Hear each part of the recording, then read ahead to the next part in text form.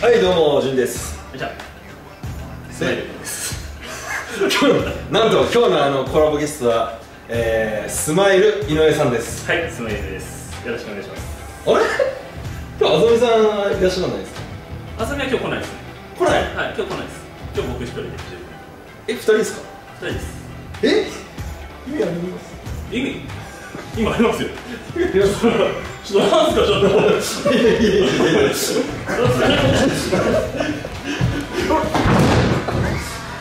あざさん俺おい何やって。んのお前もうおいおい何やって。んのお前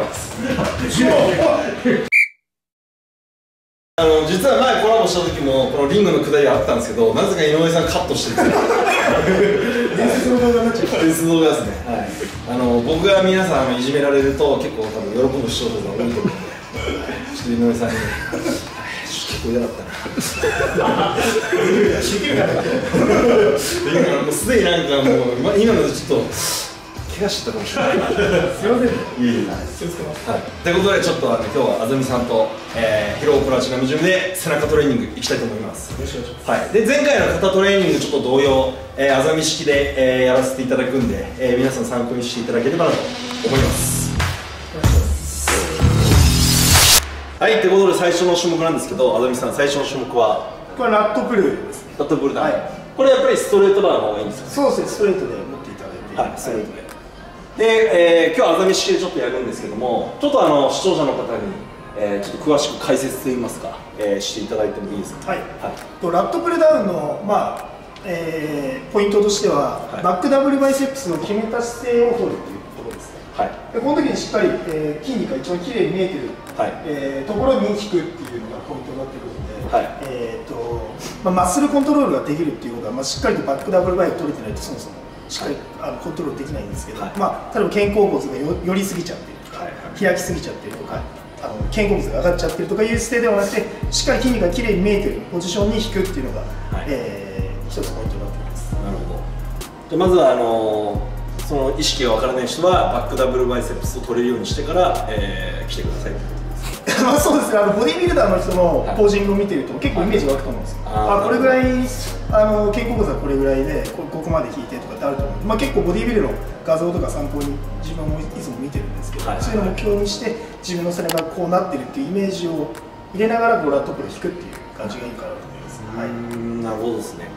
でちょっとあのイメージ湧かない人は、えーバックダブルバイトちょっと Google で検索して、えーポージングちょっと見てみてください。はい。よくわかると思う。大丈夫ですかねで基本的にラットプルダウンでもし、えー広背筋に力が入らないっていう人がいたら、はい。収縮位で、えー止めちゃうっていうのが一つ、えーはい。裏技であるんですけど、はい。筋肉って結局伸びてると力が入らないんですよね。はい。縮むと力が入るんでまああえてここ縮めて一回止めます、はい。この時に例えばあなんか背中じゃなくて肩が上がって引いちゃってるなとかあったらまず落としてあげて、はい。引いてあげて止めてあげる。で骨盤も広背筋ついてるんで骨盤もしっかりこうこっちにこういう状態だと収縮やっぱしないんで、はいこっち側に返してあげてひ引き切ってあげて、はい。ここでこう動かしてあげたりとかして広背筋にこう収縮を感じてあげてください、でギュンギュンギュンとこう動かしてると、だいぶ広背筋の力のイメージが出てくると思うんですよ。あれあざみさんもしかしてはい。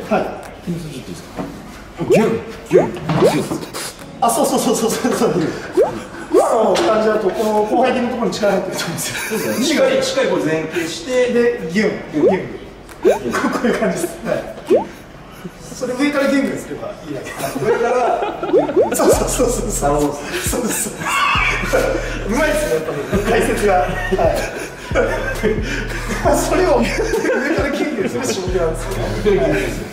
はいで結構あの戻しすぎちゃうと最初肩甲骨のあごめんなさいえっと僧帽筋角で引いちゃうんですよどっちにしてこうやって、だからここの部分をぶっ飛ばして、はい。本当にこれぐらいでも最初は効かない人はいいと思います。なるほど、はい。まあ、あのポイントとしては骨盤しっかり、えー立てて前傾してあげて、えーそこであの肩甲骨しっかり落としてあげて、はい。広背筋に負荷乗ってる感覚を得てから動作に入るそうですね。はい。結局ここでグリッとこう帰っちゃうと、はい。初動であの僧帽筋引いちゃうんで、はい。それはあの最初はやらなくていいかなと思いますなるほど。はいでよりやっぱり胸をあのしっかり張ることによって広背筋意識しやすくなりますあなりますね。はい。ということであの最初わからない人は、えー、あざみさんが今おっしゃってた通り、えー最初収縮のポジションだけをちょっと練習するように骨盤の位置とか、はい。えー胸の張り方とかをしっかり意識しながら、えー上からギュンギュン引いてあげる。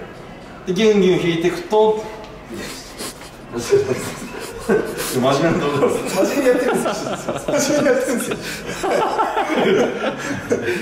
引いてあのしっかり小脇に乗った状態。そうですね。はい、まず、えー骨盤をしっかりこう立つだけ結構あれですよね。こうなってる人多いですよね、はでこのままでこう引いちゃうと。いリアルに効きます、はい。逆に。リアとか、は背中のちょっと頸部を内転させると僧帽筋チューブとかですよね。リアルの日は逆にいいかもしれないです。あ逆にこうやって引く感じですか、でこうなると広背筋に入らないんでしっかり骨盤を立てて、はい、でここからはい。ギュッとギュンと上からギュンとでこれバックダウンバイ。はい。こう収縮決めてから、この収縮を感じながら戻すっていう感じです。負荷が抜けないように最初分からない人はここだけのポジションでもはい。練習して。練習して。はい。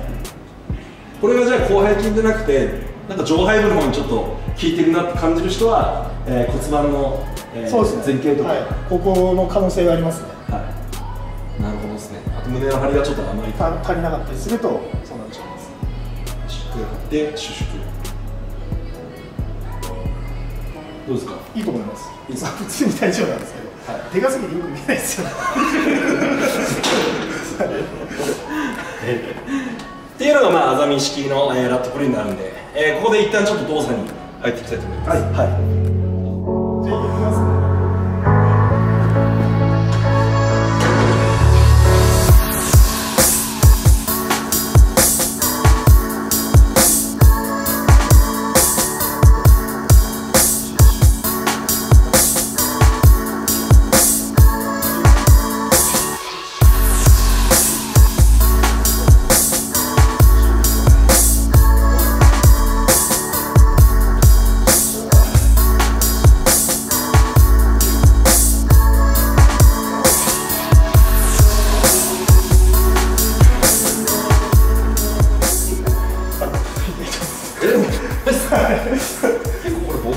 なんですけど。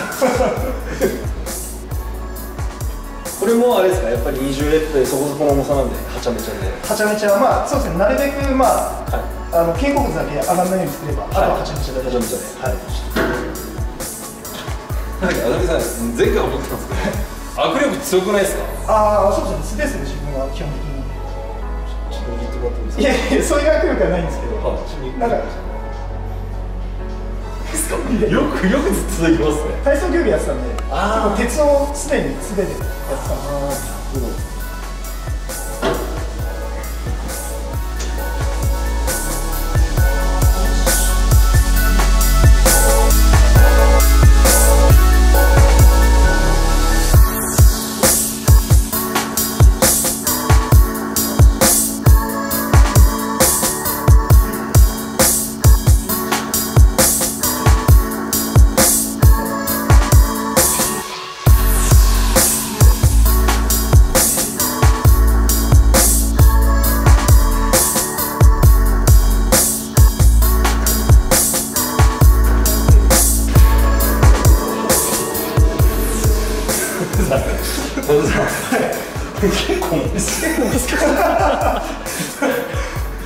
握力持っていかれます。ああそうですね。握力つらいですね。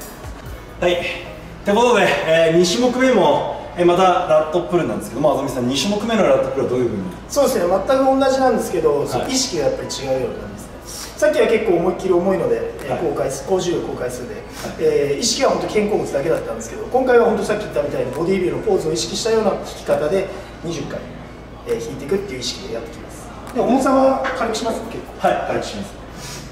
まあ半分ぐらいですかね。半分ぐらい。はい。でまあ、前回の肩トレでもそうでしたそうだったんですけども、はちゃめちゃで20レップ引くときは、えーマックスパワーの、まあ、80か、もう今日なんて僕なんて、これ、マックスでしたけ？どね。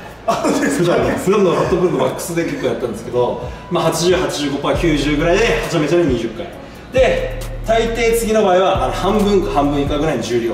で、えーまだ20回丁寧にやるっていうイメージです。そうですね、はい。重さと回数ではなくてあの本当効かせるっていうテーマなんで、はい、その辺はあの本当に聞かせてやっていただくっていう感じなんです、本当一回一回麹に取ってるような、えー、意識で。そうです。はい、はい。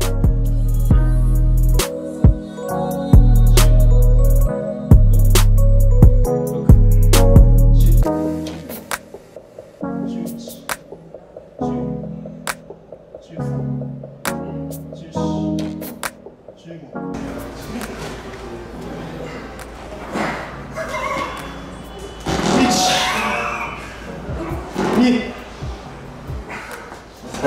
無理っすあの